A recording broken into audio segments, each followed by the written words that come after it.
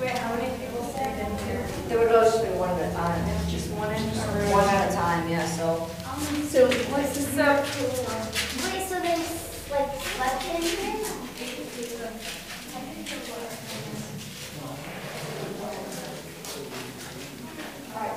Just so we know, we're gonna be adding what's called debunker stuff. So we just call it basically one to.